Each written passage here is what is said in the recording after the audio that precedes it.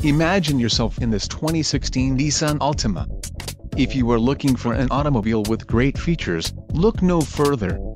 This vehicle comes with a reliable six-cylinder engine, connected to a smooth shifting automatic transmission.